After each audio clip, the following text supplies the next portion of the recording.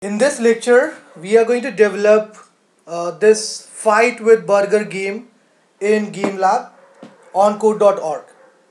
So the first thing that we are going to do is we are going to import all the sprites uh, in the animation workspace of this GameLab. In order to get uh, the sprite of a burger, we can come on this Google and search for burger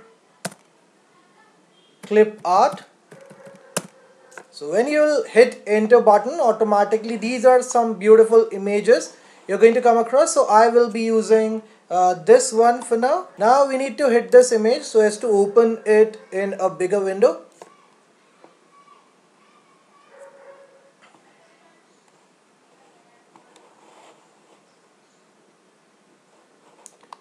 Okay we need to copy this image. Right click on this image and automatically this cascading menu is going to appear. Now you can uh, click on this copy image option for copying this image. Let's come back on that GameLab platform. And now with the help of this new animation tab we can uh, come on this animation library where we'll get to see this draw your own option. Let's uh, hit this draw your own own option. So this is an empty frame which is going to get created automatically when you will hit that draw your own option. Now here we can paste that copied image by pressing Ctrl and V together.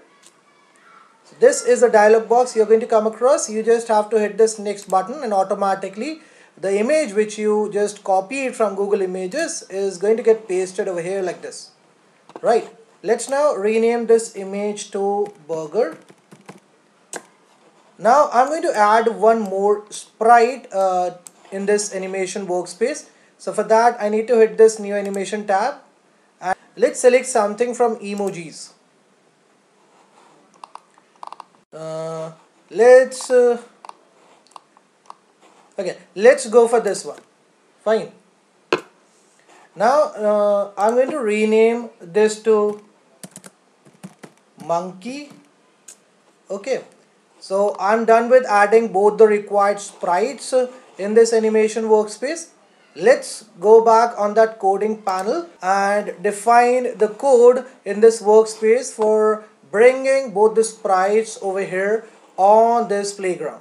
So for doing that we can uh, make use of these two blocks which are available to us over here in this sprite section of toolbox. So I'm going to pick this up and put it over here in this workspace and similarly this one also I'm going to drop it just below this uh, first block. Now let's change the name of this variable uh, to target. Okay and I am replacing this one with target. Let's convert it into block based coding and from this drop down over here we need to select this burger animation okay so now I have saved this that burger sprite in this variable named target. Okay. Now in order to access uh, this burger sprite on this playground we need to come on this world area and add this function draw uh, to this workspace over here. Now we can add this draw sprites uh, block to this function draw in order to draw this sprite on this playground. Now when you will hit this run button, this is what you will get to see. So the burger is visible, the burger is visible to us over here, but the size of this burger is uh, quite large, right? We need to scale it down. So for doing that, we can come on this sprite section and make use of this sprite.scale block. Let's select it and put it right below this uh, target.set animation block. And now we can replace this sprite over here with the name of the variable in which the burger sprite is saved. Let's scale it down to 0.25 now when you will reset this game and run it again this is what you'll get to see as an output. So this is uh, perfectly fine. This much size is perfectly fine for us. Okay. Now uh, let's reset this game. And now I'm going to define the code with which I can control the movement of the burger in all the directions. So the best way is to make use of the if loop which is which you can easily find in the control section of this toolbox. So this is the one which I am going to use. Let's select it and put it over here. So I would like you know when the user will hit the right direction key the burger should start moving in the right direction so you know as you can see uh, when I'm moving my cursor in the right direction what is happening? Only the value of x is changing. The value of y is not getting affected.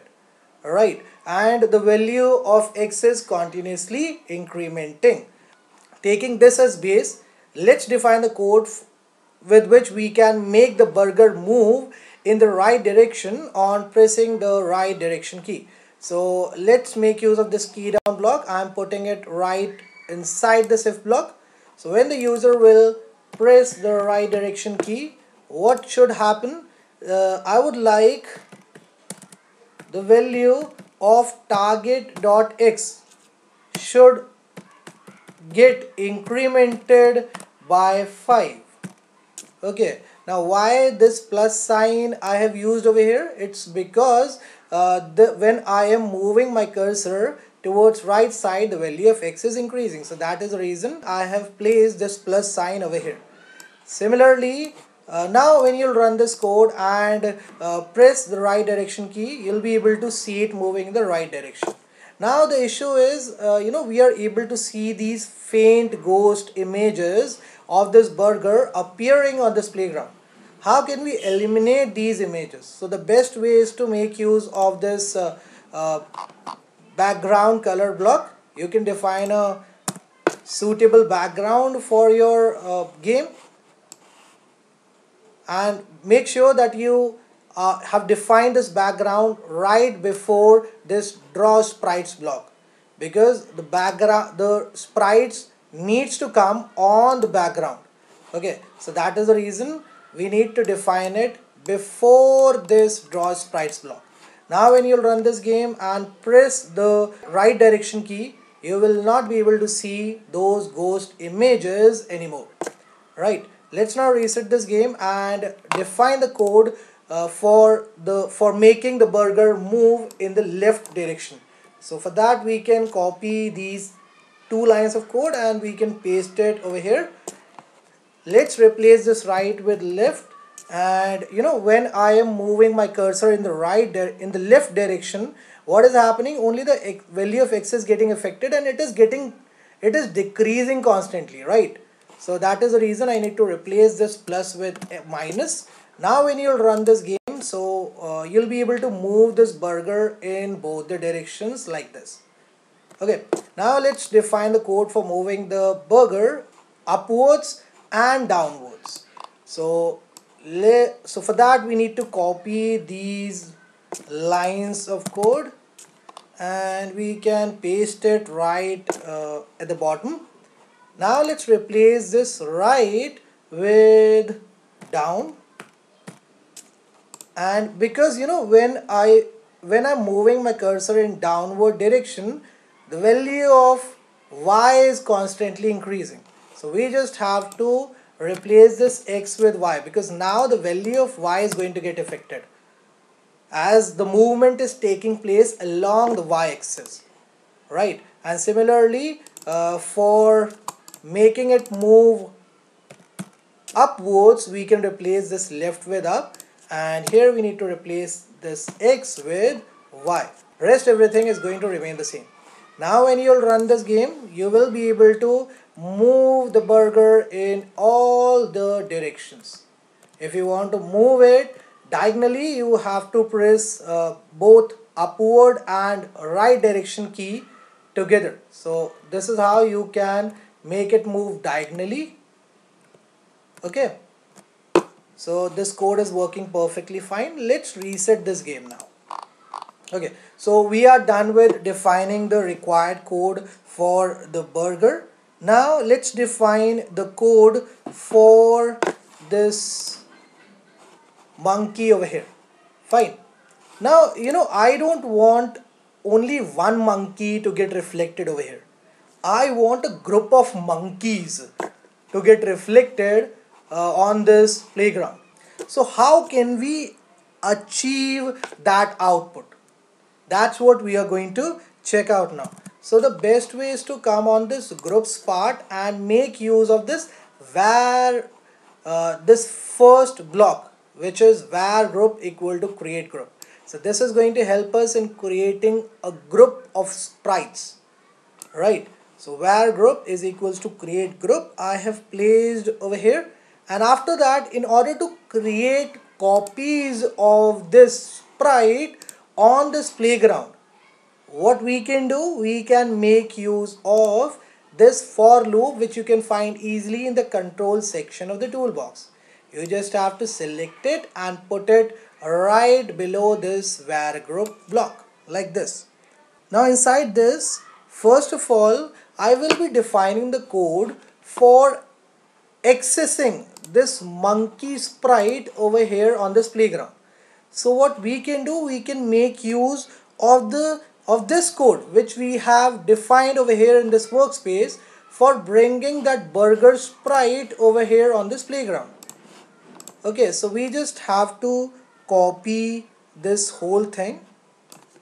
Okay and we can put it over here like this right? Now uh, I'm going to make use of this variable named sprite in order to create uh, the sprite of monkeys I want the monkeys to get created over here on this playground on different locations. So how can we do that?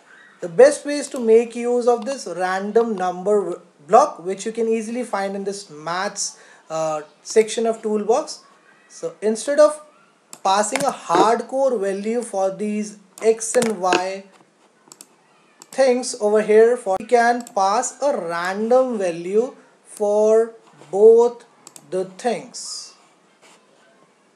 And now I am going to copy this thing and put it after this comma like this.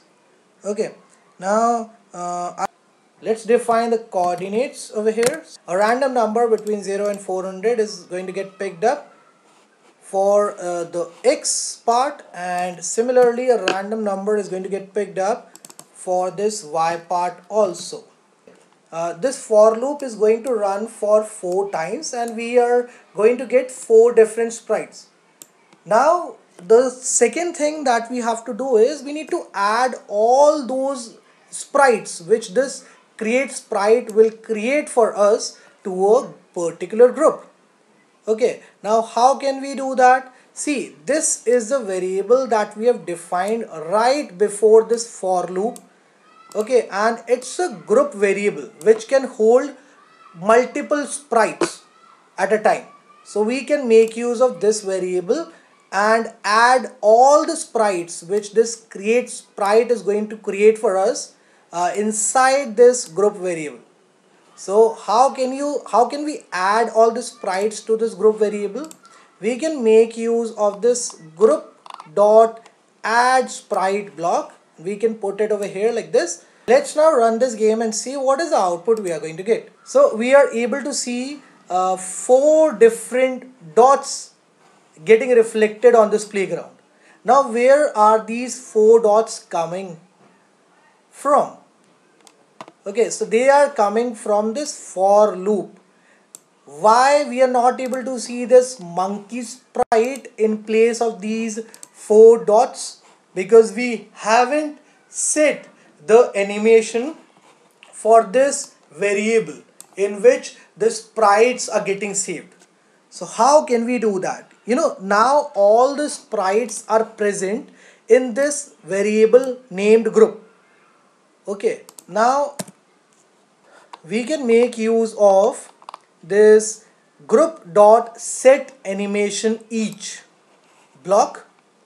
Okay in order to set the animation for all the sprites this for loop is creating for us so for setting the sprite of the monkey for the sprites which are there in this group we can come on this drop down and select this monkey from here now when you'll run this game, you will be able to see these monkeys getting reflected like this on this playground. Fine. Now the uh, size of this monkey these monkeys are pretty big. In order to scale it down we can make use of this sprite dot scale block.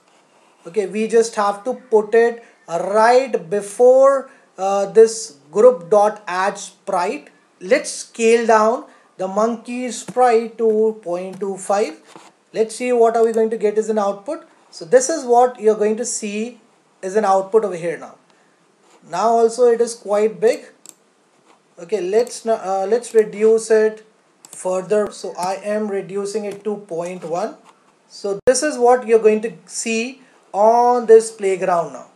Okay so it is perfectly fine. The output is uh, coming perfectly fine. So that's how you can reduce the size of all the sprites which you are saving inside this group variable.